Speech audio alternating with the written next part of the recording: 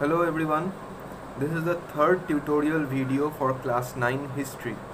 The topic is the French Revolution. We are continuing this from previous videos. Today we are going to see about the reign of terror initiated by Maximilian Robespierre. Now although Louis XVI has signed the constitution, he entered into secret negotiations, secret pact with the king of Prussia and other neighboring countries were worried by the developments in France. Other neighboring countries were worried about the revolutionaries who were taking active uh, part in governing France. They planned to send their own troops to France to suppress the revolutionaries. But before this could happen, the National Assembly voted in April 1792 to declare war against Prussia and Austria. Thousands of volunteers, thousands of revolutionaries thronged from province to province to join the army. They saw this as a war of the people against kings and aristocracies all over Europe. The revolutionary wars brought losses and economic difficulties for everyone.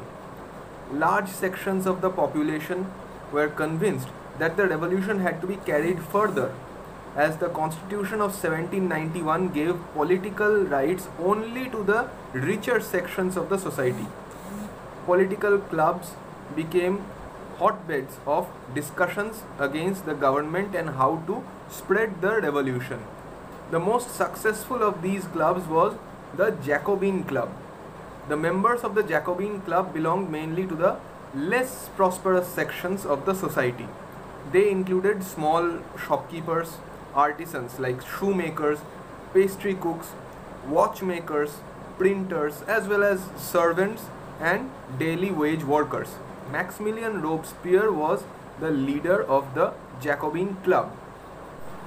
In the summer of 1792, the Jacobins planned a rebellion by the people of Paris who were very angry by the short supply of food and high prices. On the morning of August 10th, what they did, they stormed into the palace and massacred the king's guards. They killed the king's guards and took the king hostage.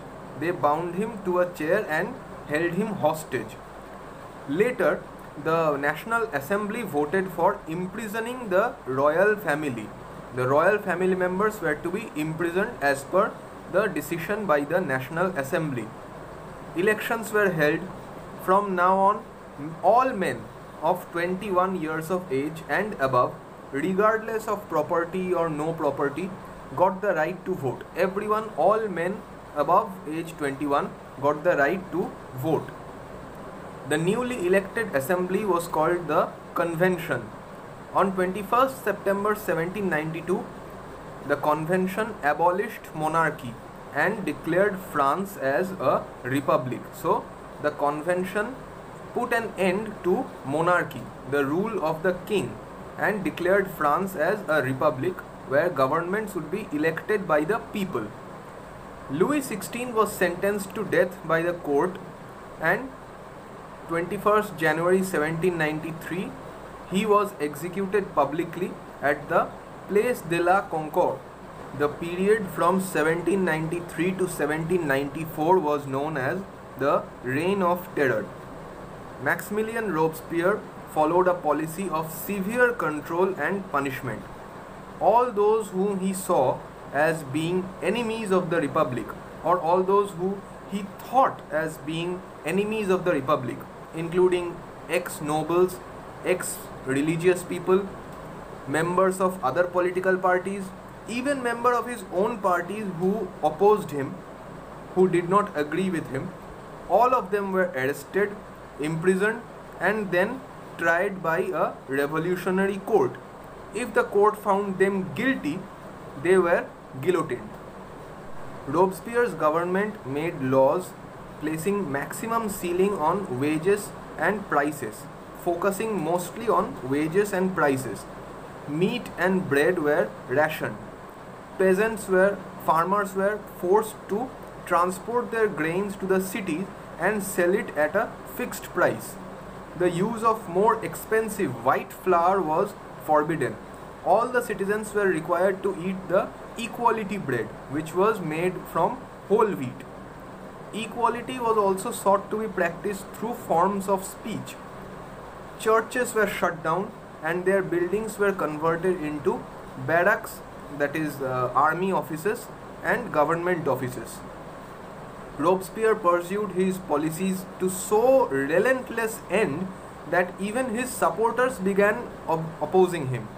Finally, Robespierre was arrested and convicted by a court in July 1794 and on the next day he was guillotined. The fall of the Robespierre government allowed the wealthier middle class to seize power. A new constitution was introduced which denied the vote to non-propertied people again. Once again the people who did not have any property they were denied the right to vote. It provided for two legislative elected councils. This was meant as a safeguard against the concentration of power in one hand like robespierre.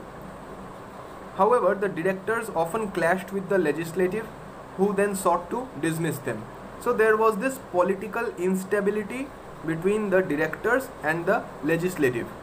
This political instability paved the way for the rise of a military dictator Napoleon Bonaparte who became the emperor of France and took France back to monarchy once again.